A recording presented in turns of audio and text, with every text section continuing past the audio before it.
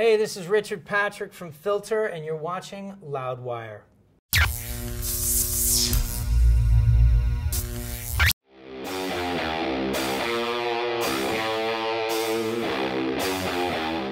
Basically, Crazy Eyes came from the, like me and my wife just kind of noticing like every time there was some crazy event, whether it was you know in the last ten years it's been like the VT shooter, just you know, in the Aurora gunman shooter or Adam Adam Lanza, the uh, you know all these lunatics have this look where they're just crazy. So I, I just thought that there's a sense of hysteria in the world, be it ISIS, be it rioting, be it Donald Trump.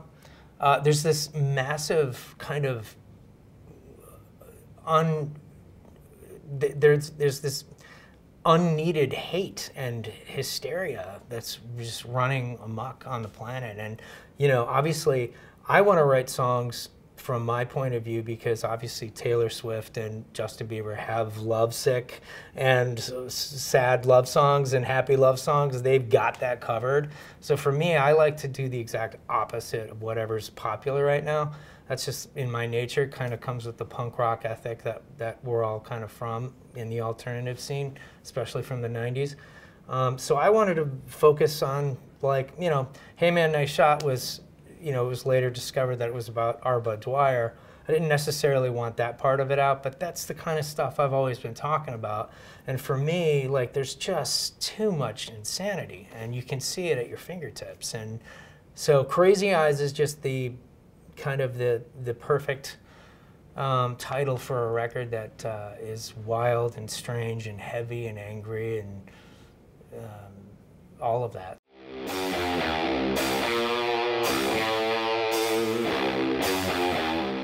Mother E comes from the place of a person that did some absolutely heinous things. Um, it was written as it happened. I happened to be seeing it on the news, and I just, we had this really dark music, and I just applied what I thought, my, my approximation of what I thought this person was doing, because that's kind of like what I, I try and peel back the layers and find out why someone's doing that, and then put it to music, because that's more, that's more authentic to me.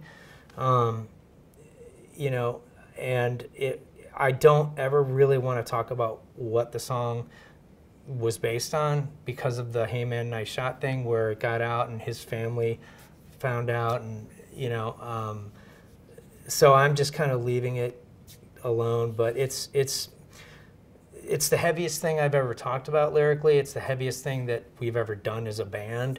Um, I really uh, emoted from the point of view of some savage lunatic, and because I think that that music, art has to reflect all sides of, of, uh, of uh, you know, the human experience. And I just, that's what I tried to do with that song, Mother E.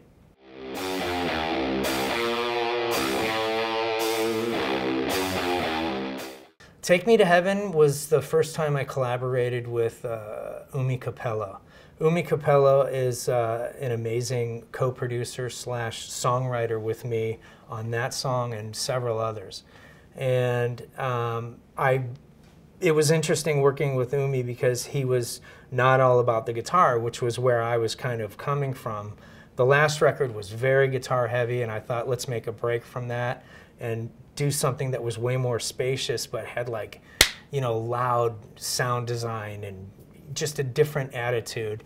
And um, when we worked on that, I was really inspired, and I was like, dude, this is we should continue to make more music, and so was the label, and uh, so that was the first song where I really hung out with Oumi, and the other songs that uh, I did were, you know, I worked with Michael Tuller, who's Blumpy, he's famous uh, programmer slash score writer. There's a lot of uh, cinematic approach to the record, um, and so there was a, a, a large variety of, of things that I wanted to do with the record, but self-producing it was was actually my one of the top priority so that I could always have final say. But I did work well with all the other people on it.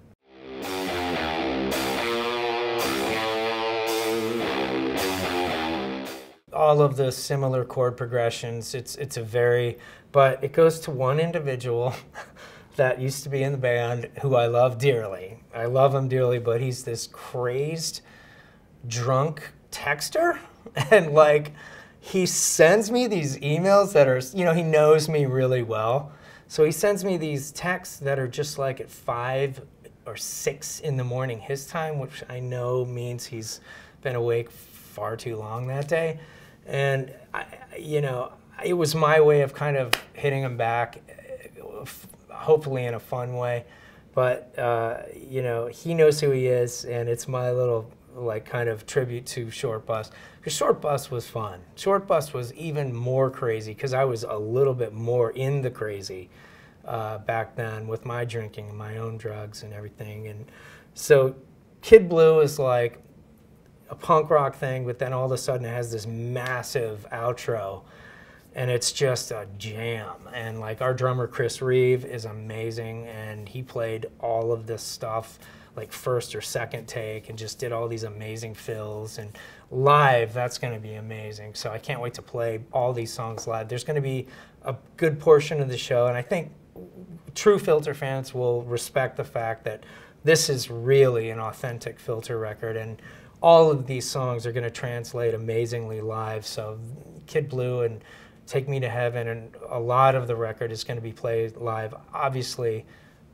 uh, some of the stuff is going to be you're going to have to play the hits. I love Hey Man Nice Shot, Cage like I do, and so. Um, but yeah, that Kid Blue is fun.